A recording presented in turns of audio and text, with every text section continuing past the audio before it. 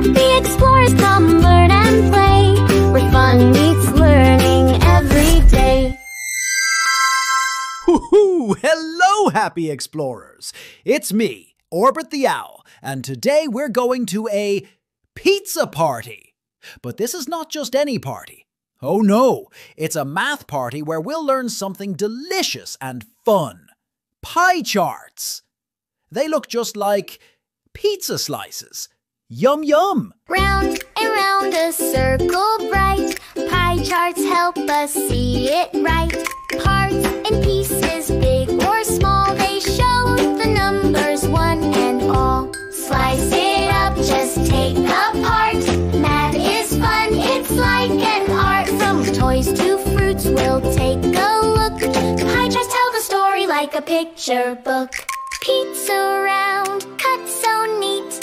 Slicing circles, what a treat. One for you and one for me. Sharing math is fun, you'll see. Charts and circles, piece by piece. Learning's fun and never cease. Count the slices, big and small. Happy explorers, fun for all. So, what is a pie chart? Imagine you have a whole pizza.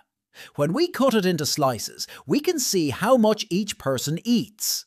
A pie chart is just a circle divided into parts, showing how things are shared. Easy, right? Look, this pizza has eight slices. If I eat two, how many are left? Yes, six slices left. That's a pie chart in action, showing parts of a whole. But pies aren't just for pizza. Imagine a basket of fruit. Let's say we have 10 fruits four apples, three bananas, and three grapes.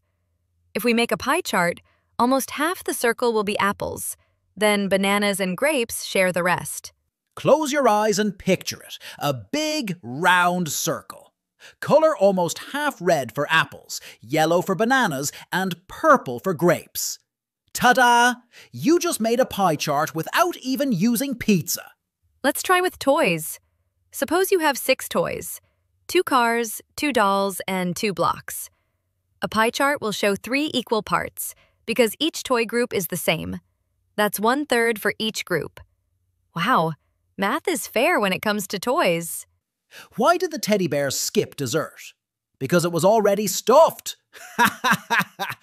Did you know we can even make a pie chart about our day? Think about this. We sleep about eight hours, go to school for about six hours, play for four hours, and eat slash rest for six hours. That makes a whole circle of 24 hours. Now, let's go back to our yummy pizza.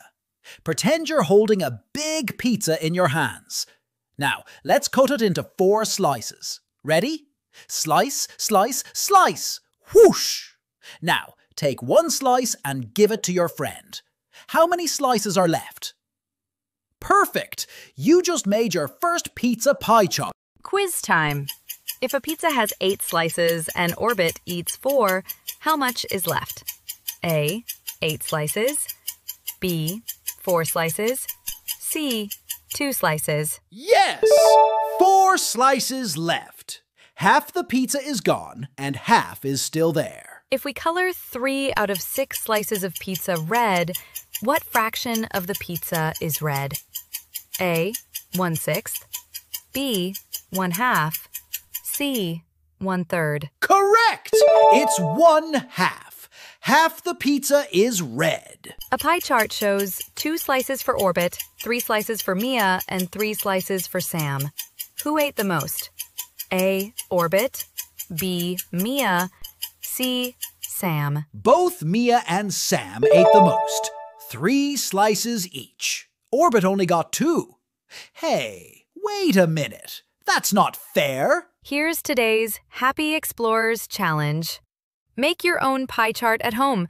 You can use pizza slices, fruit pieces, toys, or even your daily routine. Great job today, explorers! You learned how pie charts work with pizza, fruit, toys, and even your whole day. Remember, math is everywhere if you look closely. Until next time, keep exploring, keep learning, and keep smiling. Bye bye!